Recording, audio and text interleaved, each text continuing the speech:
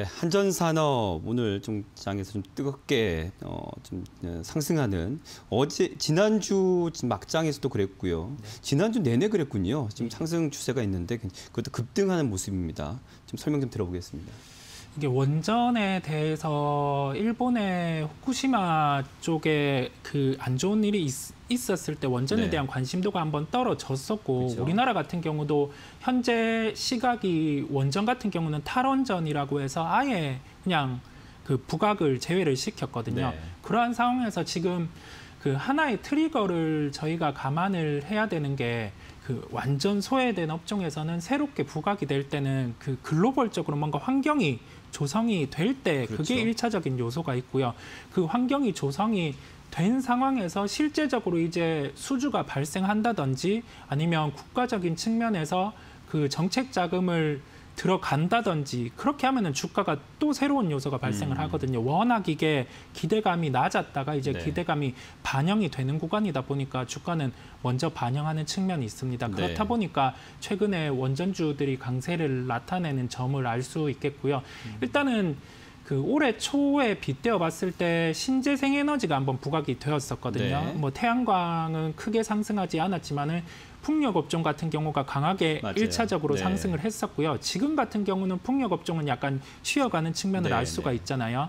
이게 아무래도 글로벌적으로 이제 그 탄소 중립이라든지 저, 저탄소 정책을 본격적으로 추진하는 상황에서 풍력의 효율만으로는 이게 다 커버하기 힘들다는 요소를 시장에서 인지를 한 거고요. 곳곳에서 이제 포착이 됐죠. 네, 네. 그렇습니다. 네. 그렇다 보니까 이게 원전이라는 거를 저희가 그 에너지를 한번 더 깊게 봤을 때그 원재료 측면에서 저희가 생각을 해봐야 되거든요. 네. 뭐 풍력이라든지 태양광 그리고 원전 같은 경우 원재료를 생각을 해보면은 지금 그 원재료에서 탄소가 발생을 하느냐 안 하느냐 그게 중점적으로 시장에 키가 맞춰 있는 것 네. 같습니다. 일단은 우라늄 같은 경우는 아무래도 그 탄소가 발생을 하지 않기 때문에 지금 그 원전이 일차적으로 부각이 되는 측면이 있고요. 음. 먼저 이제 유럽 국가 쪽에서 적극적으로 원전과 관련해서 이제 투자에 대한 그 얘기를 내세웠고 기존의 전통적인 원전보다는 이제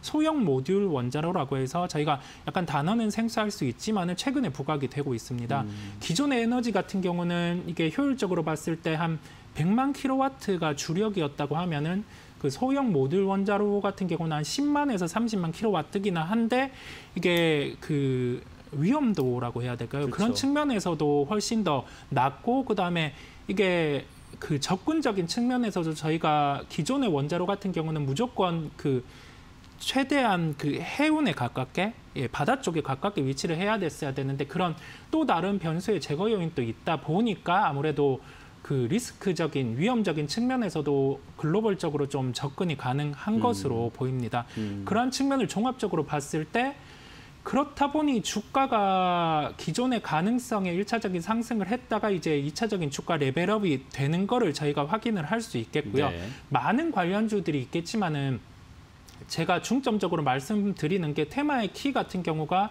그 가볍게 움직이는 베타가 큰 종목 같은 경우도 저희가 매매를 해야 되지만은 방송에서 이러한 좀 중점적인 종목을 언급 드리는 이유가 이게 포트폴리오 상에서 많이 편입을 할 수 있거든요. 네. 지난번에도 말씀드렸지만 많이 편입을 할 수 있는 종목을 중점적으로 담아두고 추후에 이제 레버리지가 큰 종목 같은 경우는 함께 매매를 하면은 계좌의 효율도 더 높아지는 요인이 있기 때문에 오늘 같은 경우는 한전산업을 말씀드렸습니다. 최근에 주가 흐름은 좀 강하게 움직였잖아요. 그렇죠. 이게 네. 단기, 단기적으로 좀 박스권을 형성하는 그림을 저희가 확인을 할 수 있는데 이게 일봉 말고 주봉상으로 만약에 본다고 하더라도 추세적인 면은 유지가 되고 있거든요. 네. 일단은 기술적으로도 추세적인 면을 유지를 하고 있고 그런 정책적인 면도 주가에 긍정적이라는 점에서 좀 부담 없이 접근 가능할 것으로 보입니다. 음. 그러니까 큰 틀에서 봤을 때는 에너지 산업의 과도기로 봐서 네. 지금 석탄 석유에서 탈탄소로 가는데 그 가운데 있어서 네. 이 풍력이나 이런 에너지들의 어떤 그 한계성이 또 보이다 보니까 네. 원전을 다시 부각을 하게 되는 그런 상황들 네. 그 안에서 그러면 단기적인 상승 모멘텀은 아니라고 볼 수 있는 부분인 거죠. 네, 그렇죠? 그렇습니다. 네. 자 그러면 지금 한전 산업 이거는 매매 전략은 어떻게 지원할까요? 네. 워낙 또 많이 올라서요. 네, 최근에 많이 올라 있는데 이게 제가 방송에서 자주 언급드리는 게 기존의 사업이 주가에 현재 반영돼 있는 구간에서는 편하게 매수를 할수 네. 있고 그다음에 플러스 알파 요인을 저희가 언제나 찾아야 되는데 지금의 주가 구간은 이제 유럽에서 적극적으로 원전에 대한 그런 정책적인 자금을 투입하는 거는 주가에 반영이 돼 있는 상황입니다. 네. 하나의 추가적인 변수가 일본 같은 경우가 후쿠, 후쿠시마 원전 사태 이후에 적극적으로 원전을 하지 않았거든요. 네. 그렇다 보니 까 이게 현재도 전체적인 에너지 비율에서 한 6% 정도가 원전이거든요. 음. 근데 2030년까지 20%에서 22%까지 회복을 한다고 했습니다. 네. 왜 이걸 회복을 한다고 하냐면 물론 원전에 대한 그 위험도도 인지를 하고 있지만은 그 탄소 중립이라든지 저탄소 그리고 그 온실가스 제로 온실가스까지 도달을 하기 위해서는 원전이 필수 불가결이라는 점을 인지를 했기 그렇죠. 때문이거든요. 네. 그 그리고 그만큼의 그 위험에 대한 그 관리는 충분히 돼 있다는 판단이기 때문에 더 큰 정책의 그런 코드를 위해서 원전 산업은 뭐 EU 같은 경우도 아주 적극적인 행보를 하고 있고 맞아요. 일본 같은 경우도 기존과는 다르게 새로운 적극적인 행보를 하고 있는 상황입니다. 입니다. 네. 그렇다 보니까 주가 같은 경우는 그 일본이라든지 다른 그 EU를 제외한 글로벌 국가의 그런 정책은 아직 반영이 안 됐다고 보이거든요.